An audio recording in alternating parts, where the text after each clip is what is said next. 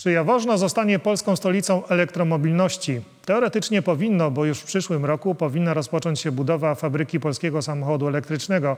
Spółka Electromobility Poland przekonuje, że prace nad samochodem i powstaniem fabryki są już bardzo zaawansowane. Problemem są jednak pieniądze z Krajowego Planu Odbudowy, których po prostu brak. Karolina Komada. To już od prawie miesiąca własność spółki, która odpowiada za projekt polskiego samochodu elektrycznego. 117 hektarów przykrywa na razie śnieg, tak jak przyszłość tego projektu przykrywa niepewność co do dalszych jego losów. Mamy pomysł na to, jak ten montaż e, finansowy projektu powinien e, wyglądać. Przedstawiliśmy też ten pomysł e, obecnemu właścicielowi, czyli Skarbowi Państwa. Ważnym elementem tego pomysłu są środki zapisane w Krajowym Planie Odbudowy, które mają pobudzić rozwój przemysłu elektromobilności również na Śląsku i wierzymy, że jesteśmy najlepiej przygotowani w Polsce do tego, żeby zbudować fabrykę samochodów elektrycznych. Spółka Electromobility Poland oprócz decyzji dotyczących finansowania czeka także na te dotyczące pozwoleń na budowę. Według zarządu Izera jest gotowa tylko w 40%. Dokończenie założeń koncepcyjnych, jeżeli chodzi o samochód to, to co tutaj też na prezentacji kolega pokazywał, tych pytań, na które musimy odpowiedzieć i decyzje, które, które musimy podjąć jest, jest, tysiące.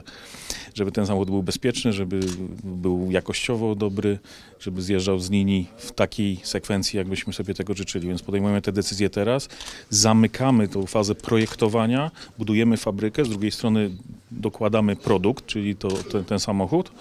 No i w, z końcem 2025 roku chcemy uruchomić pierwsze samochody testowe. Czy ten scenariusz zostanie zrealizowany zależy w dużej mierze od nowego rządu, który ma być zaprzysiężony już w przyszłym tygodniu. Na razie nikt z nowej koalicji rządowej nie składa żadnych deklaracji. Według niektórych ekspertów przeznaczenie pieniędzy z Krajowego Planu Odbudowy na budowę tej fabryki nie do końca jest dobrym pomysłem. Zainwestowano w to już duże pieniądze.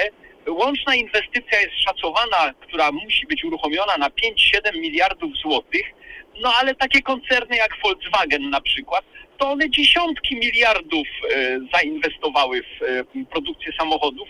No i nie ma szans, żeby państwo się tym zajęło w sytuacji, kiedy brakuje nam środków na inne rzeczy.